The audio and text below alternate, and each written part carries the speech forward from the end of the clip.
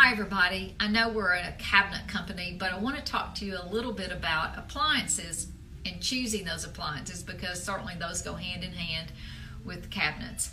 When you are working with existing cabinets, it's really critical when you're selecting a new appliance that you consider all of the, the things that are going on in your kitchen with your existing cabinets one of the things that homeowners uh, typically do is they will look at the outside dimensions of an oven or a built-in microwave.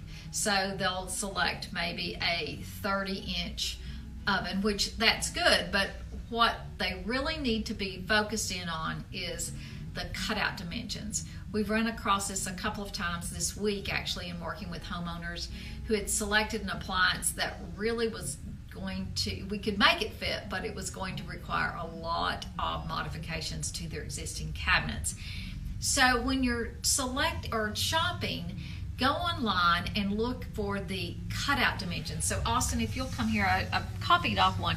You're going to find, you'll go to specifications. Every appliance that you find will have a specification sheet and it will give you the overall height, overall width, and then there will also be cutout dimensions for the height and the width. And that's what's really, really important because that tells us exactly what we need to modify in order for that appliance to fit.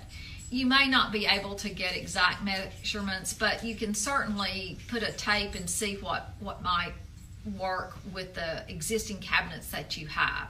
So again, look for the cutout, not necessarily the overall dimensions. The second thing I wanted to just bring up today because we came across that, this this week is the corners. And if you have a dishwasher or a range, the design now for appliances is the handle is a part of the overall design. And they make some really great looking handles. I know uh, some of the, the models have really big, sturdy um, handles that come out, actually protrude out three inches or more.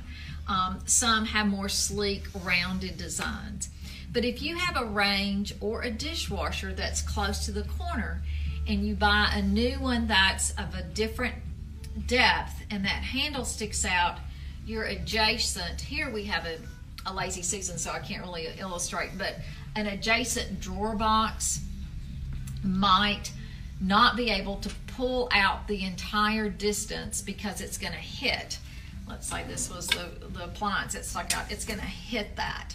Um, that was came up this week when we were measuring for uh, a homeowner who had an older dishwasher that didn't have one of the new handles we advised her to get one of the nice new models that has no handle at all, but just a, a, a finger pull that where you open the doors.